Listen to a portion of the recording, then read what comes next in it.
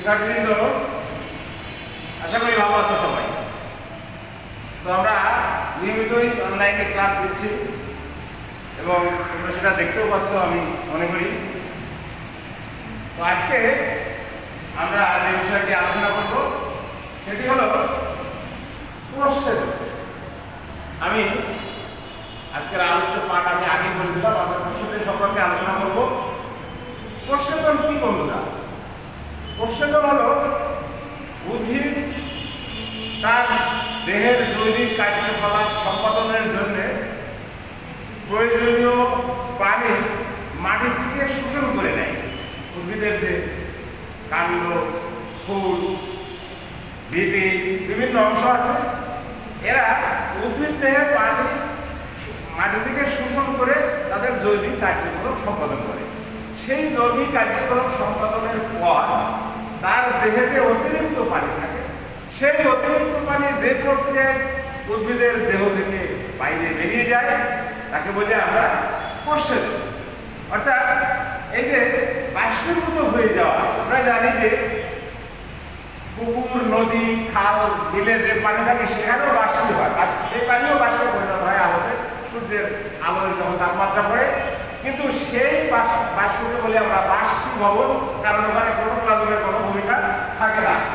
কিন্তু উদ্ভিদের দেহে প্রয়োজনের অতিরিক্ত পানি যে প্রক্রিয়ায় তার দেহ থেকে বাইরে বেরিয়ে যায়, তাকে বলি আমরা প্রশোধন। আমরা জানি বন্ধুরা, প্রশোধন তিন প্রকার।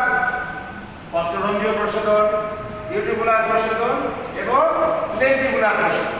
তো পত্ররন্ধ্র আমরা জানি বন্ধুরা, উদ্ভিদের সমস্ত সবুজ অংশে যে বিশেষায়িত ক্ষুদ্রাকৃতির রন্ধ্র থাকে তাকে বলি আমরা পত্ররন্ধ্র এই পত্ররন্ধ্রের মাধ্যমে যে প্রশোধন হয় তাকে বলি আমরা পত্ররন্ধ্র প্রশোধন আবার উদ্ভিদের দেহেরকে শুষ্কতার হাত থেকে রক্ষা পাওয়ার জন্য উদ্ভিদের পাতা বা কাণ্ডের বাইরে টিউটিন নির্মিত পুরো পাতলা বা পুরো আবরণ থাকে। টিউটিন নির্মিত পাতলা বা পুরো আবরণ থাকে।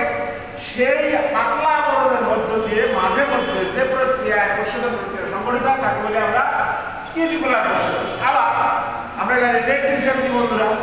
লেন্টিসেল হলো উদ্ভিদের দেহের সেকেন্ডারি বৃদ্ধি ফলে বাইরের যে কোয়াড টিস্যু থাকে, সেই কোয়াড টিস্যুর স্থানে স্থানে ফেটে গিয়ে উঁচু বা উঁচু আকৃতির যে ছিদ্রের সৃষ্টি হয় তাকে বলি আমরা লেন্টিসেল সেই লেন্টিসেলের মধ্যে দিয়ে যে প্রশোধন প্রক্রিয়া সংঘটিত হয়, তাকে বলি আমরা লেন্টিকুলার প্রশোধন তো বন্ধুরা, আমরা প্রশোধন তিন প্রকার আমরা দেখলাম এরপরে আমরা দেখব যে আসলে এই যে উদ্ভিদের দেহের যে প্রয়োজনের অতিরিক্ত পানি বের করে দেয়, এর নব্বই থেকে পঁচানব্বই পার্সেন্ট পানি বের হয় এই পত্ররন্ধ্র দিয়ে।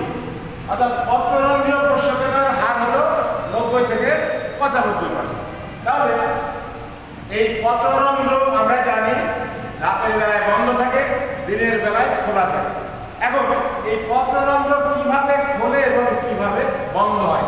অর্থাৎ পত্ররন্ধ্র খোলা ও বন্ধ হওয়ার কৌশল আমরা আলোচনা করব। এই পত্ররন্ধ্র অর্থাৎ উদ্ভিদের দেহের মধ্যে যে ছিদ্রায়িত বিশেষায়িত ছিদ্র তাকে বলি আমরা পত্ররন্ধ্র। এই পত্ররন্ধ্রের কেন্দ্রের যে রন্ধ্র থাকে, তাকে বলি আমরা পত্ররন্ধ্রীয় ছিদ্র এই পত্ররন্ধ্রীয় ছিদ্রের দুই পাশে দুইটি রক্ষী কোষ থাকে, বা গার্ডসেল বিশেষ গঠন বিশিষ্ট রক্ষী কোষ বা গার্ডসেল এই গার্ডসেল দ্বারা যে রন্ধ্র, তাকে বলি আমরা পত্ররন্ধ্রীয় রন্ধ্র। পত্ররন্ধ্রের ছিদ্র এই গার্ডসেল দুইটির গঠন কিন্তু একটু ভিন্ন প্রকৃতির। অর্থাৎ রন্ধ্র প্রান্তটি পুরু হয় এবং তার বাইরের অংশটি পাতলা হয়। এবং যখন কোষের মধ্যে পানি প্রবেশ করে, তখন এটি স্ফীত হয়। অর্থাৎ প্রসারিত হয় বা স্ফীত হয়। এবং স্ফীত হওয়ার কারণে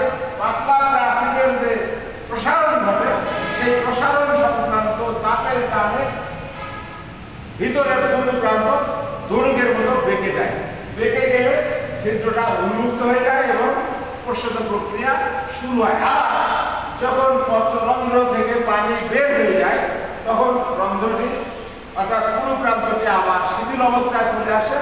পানি পত্ররন্ধ্র বন্ধ হয়ে যায় এবং প্রশোধন প্রক্রিয়া বন্ধ হয়ে যায়। তাহলে প্রশ্ন হলো, আমরা পত্ররন্ধ্রের গঠন এখানে তোমরা দেখতে পাচ্ছ বন্ধুরা। এটা পত্ররন্ধ্রের গঠন, এটা হলো খোলা পত্ররন্ধ্র এটা বন্ধ পত্ররন্ধ্র এটা হলো সহকারী কোষ, অর্থাৎ পত্ররন্ধ্র, তার চারিদিকে কিছু বিশেষ আকৃতির কোষ থাকে, যেটাকে বলি আমরা পত্ররন্ধ্রীয় সহকারী কোষ। অর্থাৎ সহকারী কোষ এবং পত্র রক্ষী কোষ এবং উপপত্ররন্ধ্রীয় গহ্বর। এই সকল কিছু মিলে তৈরি হয় পত্ররন্ধ্রীয় কমপ্লেক্স তাহলে এই যে খোলা পত্ররন্ধ্র এবং এই যে বন্ধ পত্ররন্ধ্র দেখতে পাচ্ছ তোমরা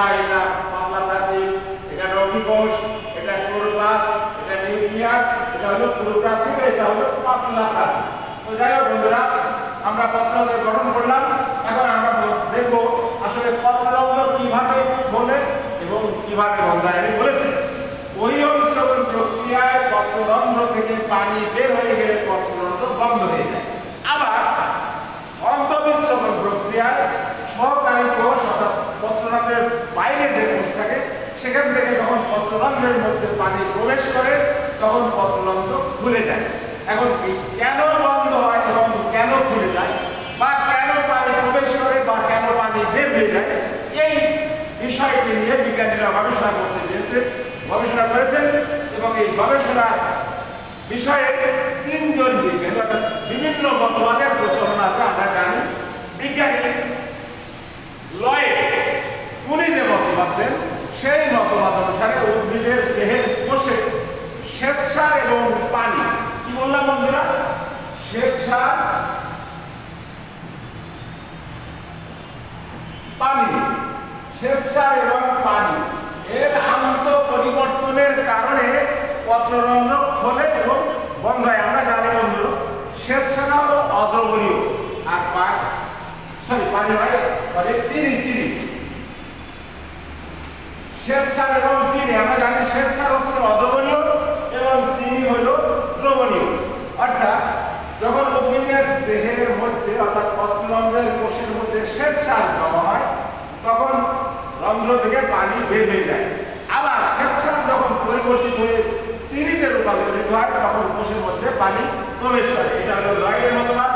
এরপর আমরা জানি মতবাদ দিয়েছেন যে পিএইচ এর উঠানামার কারণে পত্ররন্ধ্র খোলা এবং বন্ধ, কৌশলটা বন্ধ, প্রক্রিয়াটি সংঘটিত আমরা জানি পিএইচ বেড়ে গেলে, পিএইচ বেড়ে গেলে শ্বেতসার গ্লুকোজে পরিণত হয়, আবার পিএইচ কমে গেলে গ্লুকোজ শ্বেতসারে পরিণত হয়। অর্থাৎ পিএইচ এর মান যখন বেড়ে যায়, তখন পত্ররন্ধ্র বন্ধ হয়ে যায়, আবার পিএইচ এর মান যখন কমে যায়, অর্থাৎ যখন পিএইচ এর মান যখন সেভেন বা ডার্ক আধা আলোতে পত্ররন্ধ্র খুলে যায়।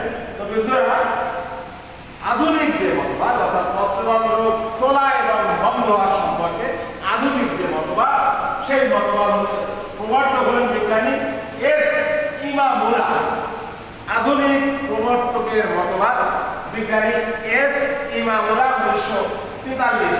তিনি পত্ররন্ধ্র কোষের মধ্যে পটাশিয়াম আয়নের প্রবেশ এবং আমরা জানি আলোতে, অর্থাৎ সূর্যের আলো যখন পৃথিবীতে আসে, অর্থাৎ দিনের বেলায় আলোর যে বর্ণালের নীল অংশ, কোষ কর্তৃক শোষিত হওয়ার পরে রক্ষী কোষের রিসেপ্টারগুলো উত্তেজিত হয় এবং কোষের যে দ্রবণ, সেই দ্রবণের দ্রবণের ঘনত্বটা বেড়ে যায়। কোষের মধ্যে পটাশিয়াম আয়ন প্রবেশ করে।